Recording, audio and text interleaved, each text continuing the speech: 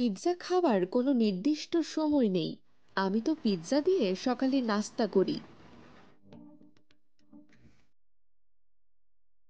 Pizza মার্গারিটার জন্ম এখানে ইটালির নেপলসে।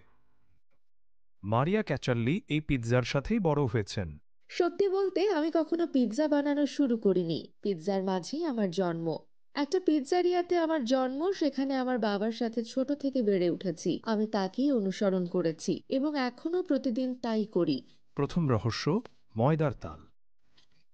ক্লাসিক নেপোলিটান পিৎজার ডোতে কেবল পানি ইস্ট লবণ আর ময়দা থাকে। আমরা যে ধরনের পিৎজা বানাই তাতে ডো ফুলে ওঠার জন্য বারো থেকে আঠেরো ঘণ্টা সময় দিই।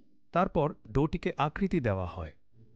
মাখানো হয় ঘুরানো হয় এবং ছড়ানো হয়। এখানে শত শত বছর ধরে পিৎজার প্রচলন। সতেরো শতকের থেকেই নেপলস একটি বড় শহর। অধিক জনসংখ্যা এখানে সবসময় একটি সমস্যা ছিল। আঠারো শতকে এটি প্যারিসের পরে ইউরোপের বৃহত্তম শহর ছিল।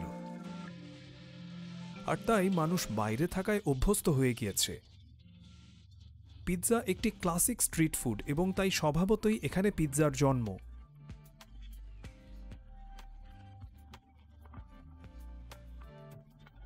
দ্বিতীয় রহস্য, টমেটো।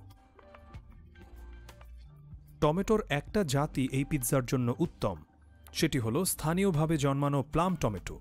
সবাই একে সান মার্জানো হিসেবে চেনে। টমেটো খুবই গুরুত্বপূর্ণ। এটি পিৎজাকে বদলে দেয়, কারণ টমেটো ছাড়া পিৎজা কেবল একটি রুটি, যার উপর চর্বি ও পনির থাকে। আর পুদিনা ও ওরেগানো দিয়ে এটাকে মিষ্টি বানানো হয়। সেখানে টমেটো এর স্বাদ বদলে দেয় আর ময়দার সাথে দারুণভাবে মিশে যায়।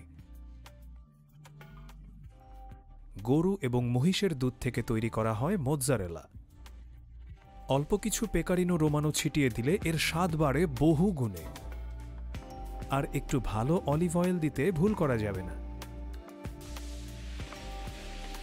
রহস্য তিন, ওভেন। ওভেন এখানে মূল উপাদান, ঠিক দাম্পত্যের বোঝাপড়ার মতো। পিৎজা প্রস্তুতকারক এবং পিৎজা বেকার মিলেমিশে কাজ করে। তাদের একজন পিৎজা বানায়, অন্যজন বেক করে। ওভেনে অবশ্য বীজ কাঠ ব্যবহার করা উচিত। এটা সুন্দরভাবে পড়ে ধোঁয়া হয় না এবং পিৎজাতে অন্য কোনো গন্ধ হয় না। ওভেনে প্রায় চারশো পঞ্চাশ ডিগ্রি তাপমাত্রায় মাত্র পঞ্চাশ সেকেন্ডে পিৎজা তৈরি হয়। পাতলা আর ফাঁপা হলে বোঝা যাবে ডো ঠিকভাবে বানানো হয়েছিল। মারিয়ার পিৎজারিয়াতে এটা পরিষ্কার। মানসম্মত উপাদানই মূল। সেগুলোকে ব্যবহার করতে হবে ভালোবাসা আর যত্ন নিয়ে। আমার সাথে যারা কাজ করে তারা সবাই আমার আবেগও ভাগ করে নেয়। আর সেই আবেগ থেকেই আসে এই দারুণ খাবার।